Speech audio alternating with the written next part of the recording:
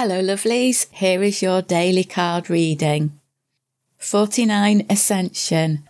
Wow. So today you are in for an upgrade. You have been through a big cycle, a big transformation.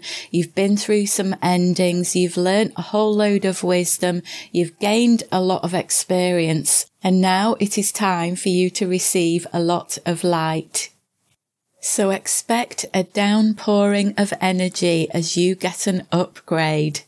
You might feel more uplifted, full of vitality, more optimistic, happier. You might have contented feelings. Your vibration is definitely on the rise. Expect new ideas and inspiration to come to mind. You might even have an awakening on some level and you might experience some past memories or feelings come to the surface as they reach a time to be released.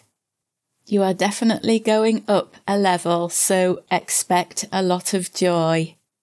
This wonderful new energy could permeate into one or more areas of your life. So you might get a new job or a promotion, or you might move to somewhere better or you might have a new connection come in that's better than anything that you've known before. But whatever happens, you're going up a level and lots of joy is coming in.